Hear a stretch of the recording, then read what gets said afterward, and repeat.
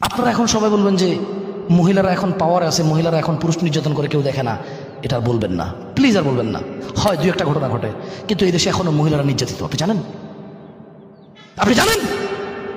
মহিলা সকালবেলা ঘর থেকে, ঘুম থেকে উঠে বাচ্চা কাচ্চা না থাকলে শ্বশুর শাশুড়ির জন্য বা নিজের জন্য বা নিজের জামার জন্য কাজ করতে হয়।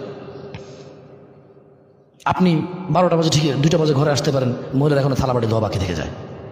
তরকারি কাটাকুটা থেকে নিয়ে। কোনো এফোর্টই ধরা হয় না এটাকে, কোনো কাজই ধরা হয় না এটাকে। আপনার বাচ্চা তো আপনার দুধ খায় না, আপনার বউয়ের দুধ খায়। মানে আপনি যা ভাত খান সে তা ভাত খায়। আর আপনার বাচ্চা আপনার বউর থেকে অর্ধেক জিনিস খেয়ে ফেলতেছে এবং আরও প্রয়োজনে বেশি খাচ্ছে ওর থেকে। আপনার তো আপনার শুলে রয়ে গেছে। ওটাকে কোনো এফোর্টই ধরা হয় না, কোনো কাজই ধরা হয় না। আপনি ঘরে আসলে মানে আপনার আলাদা মেজাজ থাকে, কারণ আপনি কাজ করে আসছেন। আপনার বউ সারাদিন ঘরে কাজ করতে কোনো মেজাজ নাই। ঠিক আছে, আপনি বড় পার্টটা করেন। আপনি কথা কথা করে তালাকের ধমক দেন? কেন? মহিলা মানুষ নাকি পুটি মাছ? পানি থেকে উঠলে পেট পচে যায়। কেন? ও আপনার সন্তানের গর্ভবতী হয়েছে এই জন্য। আপনার মাথা এই যুক্তি ঢুকে গেছে। আপনি ওকে পুটি মাছ মনে করেন, ওর প্যাট পশা মনে করেন আপনি। মনে করেন যে ওকে আমি ছুঁয়ে ফেলছি, ধরে ফেলছি, ওর সাথে শুয়ে গেছি আমি। আর কেউ ওকে বিয়ে করতে চাইবে না। এরকম মনে করে আপনার উপর নির্যাতন করেন।